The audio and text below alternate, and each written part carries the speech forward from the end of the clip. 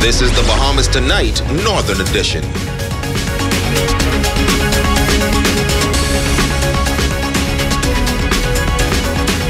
This is the Bahamas Tonight, the Northern Edition. Good evening, all. I'm Megan Shepard. Thank you so much for tuning in. Topping news, over 50 Bahamians who were stuck in South Florida returned home this afternoon. They have been agitating and waiting for weeks, but it's finally happening. The national flag carrier departed the capital at 7.30 this morning for Fort Lauderdale. The airline returned around noon today with the first 83 Bahamians who were impacted by the border closure due to COVID-19. The second flight is expected to stop in Grand Bahama shortly and connect on to New Providence at 4.45 this afternoon with the remaining stranded Bahamians, bringing home a total of 200. They include students, essential workers, and other residents. The Ministry of Foreign Affairs releasing a statement this afternoon on the repatriation exercise. The statement notes that returnees will arrive in New Providence and Grand Bahama the ministry realizes that Bahamians are eager to see their loved ones. However, all returning nationals and residents upon arrival will proceed immediately to the government operated quarantine facility for evaluation.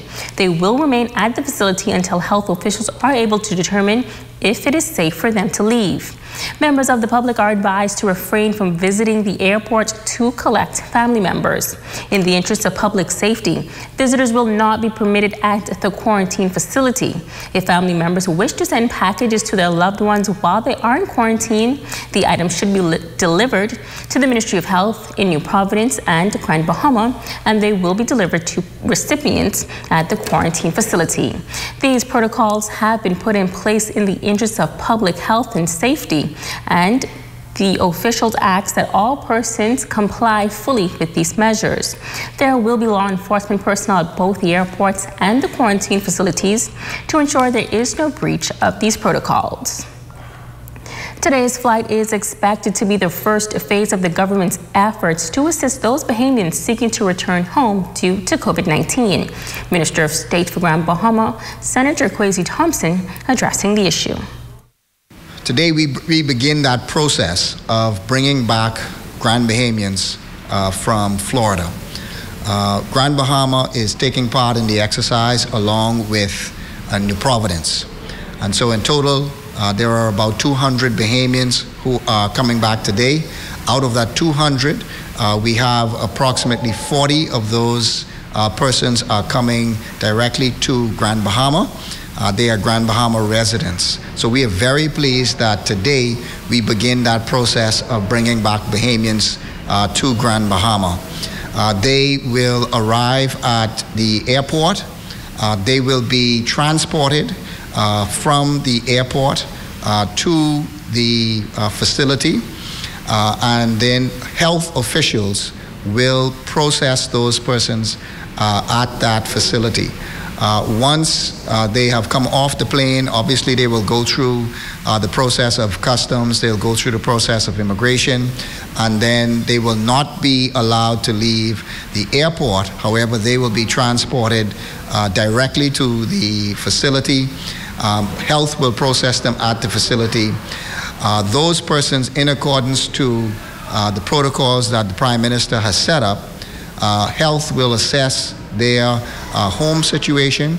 And those persons that are able to self quarantine uh, will be allowed to leave that facility and then they will be uh, under uh, self quarantine but also under the supervision of uh, the medical professionals.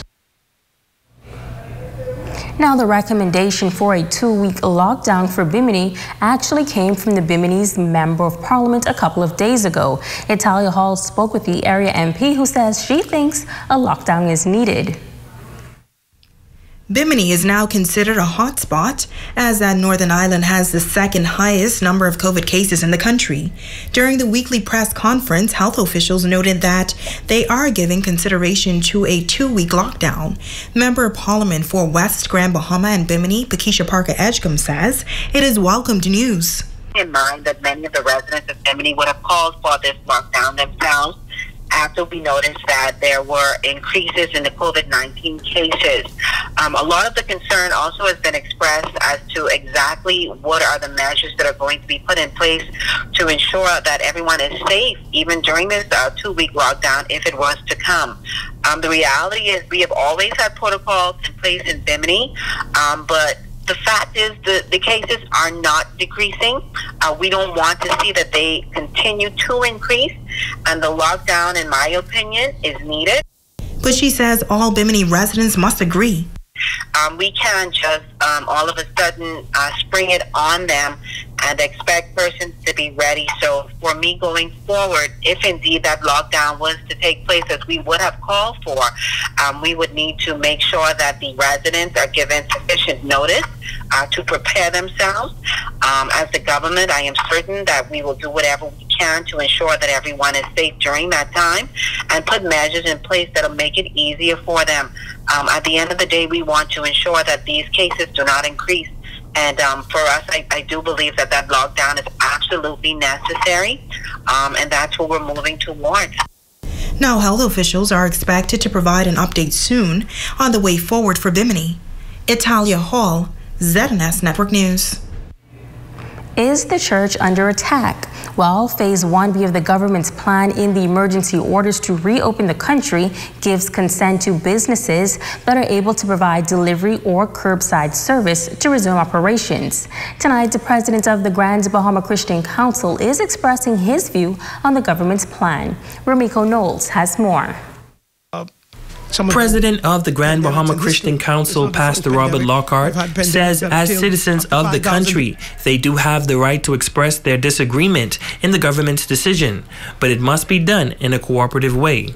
In addition, he says that if the government decides not to open churches until the end of May, they must submit. So the church has the right, as any other group, uh, we're, we're, church, but we also Bahamian citizens, that if we don't agree with the way that the government is doing something, we have the right to express that. But at the same time, we don't express that in a disrespectful way, a rebellious way. We're still committed to working along with the government um, and, and, and, and to be able to say to the government, hey, if you're going to, if we disagree with what you're doing, then give us some better understanding of why you're doing what you're doing. But that must be done out of a spirit of respect because the government is called to govern the country and to lead the country, and we cannot usurp their authority. We've got to submit to the government and to leadership.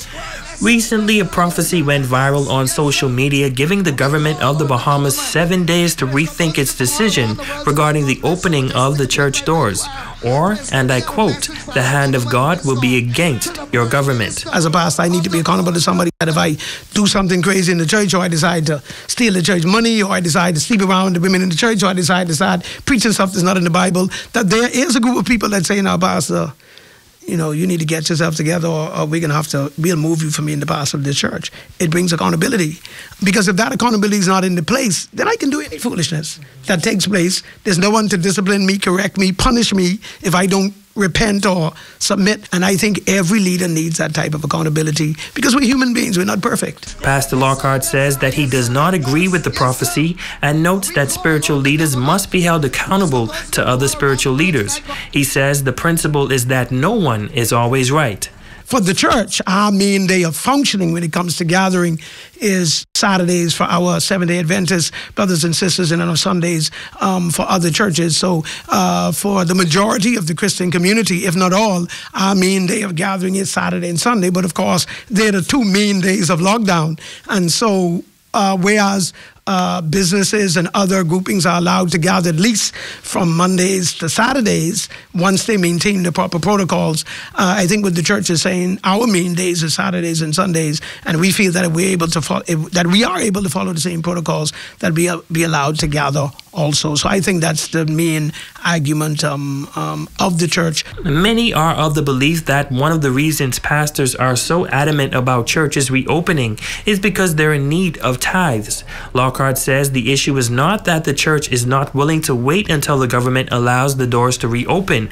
He says, in the same way other businesses were allowed to resume operations under Phase 1B of the emergency orders, they too can maintain similar protocols during lockdown periods, which are Saturday and Sundays. We realize that we have a role to play in this. And so I think three things. I believe in the power of God, the wisdom of God, and the love of God.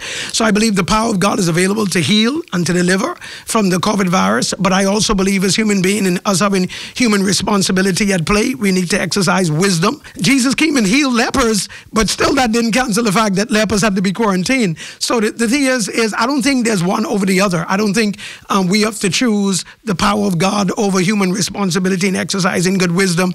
So I think medicine is a gift from God. I believe doctors are a gift from God. I believe that healing is a gift from God. I believe wisdom is a gift from God. Government is a gift from God. And the word is a gift from God. So I think is all these things working together. As it relates to the pandemic, Lockhart says the church's approach is always to pray. Rumiko Knowles, ZNS Network News. It appears as if the wine and spirits industry is doing well during this COVID-19 pandemic in the country. Over the last two weeks or so, the economy has been opening up slowly, and now most businesses can provide curbside pickup and delivery services. While our Italia Hall visited a local distributor that's been a part of the Grand Bahama community for many years to find out how business there has been going. Grand Central Liquors has some three locations on Grand Bahama, and their doors have been closed since the emergency orders were put in place. General Manager Chris Williams says it was a challenging time, especially for his employees. I went out to them, I did my best to try and see if I could assist them during the seven weeks that they were off, you know what I mean? But it's been challenging, it's, you know, considering that there was no income coming in. He says he was excited when he first heard the announcement that businesses will be able to provide curbside pickup and delivery services. Of course, we couldn't just jump right into it because we weren't quite prepared. You know, many uh, of our competitors may have had some inside information about what was coming, you know what I mean? So we had to take some time to prepare uh, for it, so that's we didn't open right away. But it's been challenging, but now we've been able to iron out a lot of the roughness, the rough edges, and now it's pretty much smooth sailing. You know, I, I have to say hats off to our team because basically they did an amazing job uh, in such a new environment, learning how to operate in such a short time. And as for what business was like on opening day, we basically opened all three of our stores on day one, our Sergeant Major location as well as our Eight Mile Rock location. It was a bit chaotic to begin with because we had to get the customers to adapt to the way of curbside. You know, this is a new procedure, a new protocol for our customers, so they weren't used to it. But pretty much they're now grasping to the new idea. He says in their downtown location alone, they have served over 400 customers. He says persons are able to WhatsApp or call in their order that will be brought to their vehicles. The easiest way thus far is just driving up as if you would at any fast food restaurant, placing your order, and pick up, and the, the wait is pretty much less than 10 minutes. The business owner says he is positive about the future. If this is going to be the, the new way of life, we just have to learn to adapt to it. But uh, pretty much, I can't wait to get back to some sense of normalcy. But I mean, if this is the new norm, I'll accept it as well. Italia Hall, ZNS Network News. In news from the crime beat, five men are in police custody after reports of gunshots being fired. Reports are that on Thursday, May 7th, shortly after 6 p.m., police were alerted of gunshots being fired in the Sunridge Road area.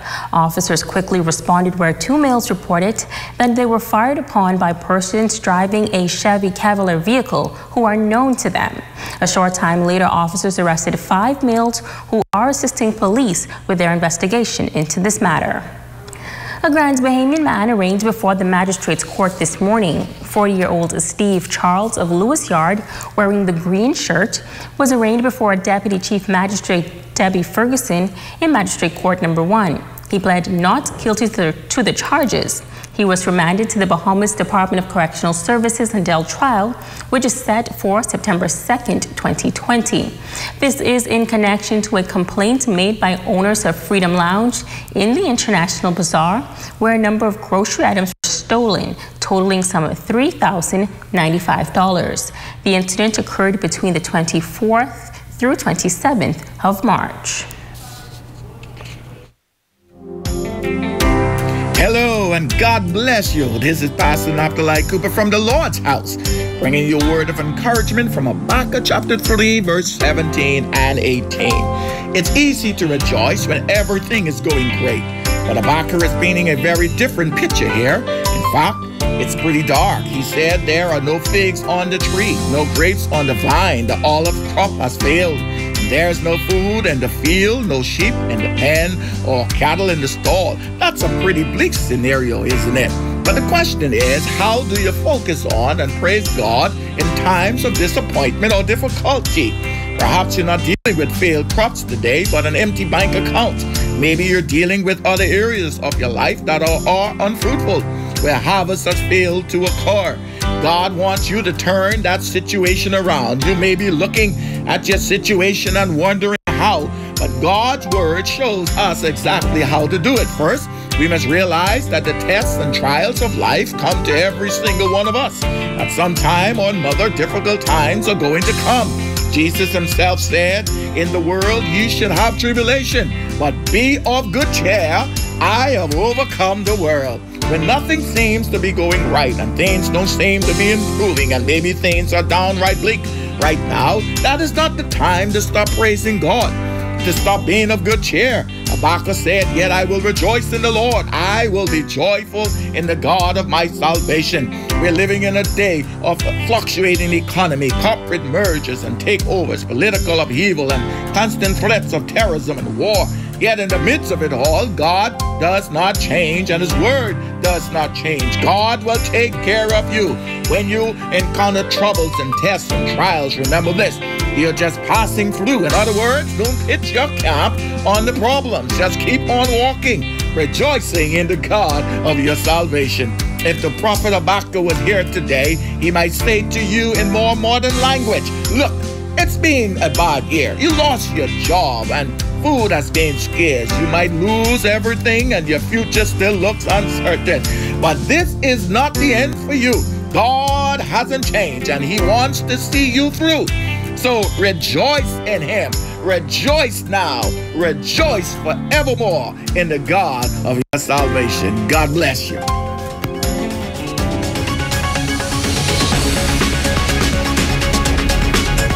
Coming up, the Grand Bahama Red Cross Center marking a special observance. That story up next.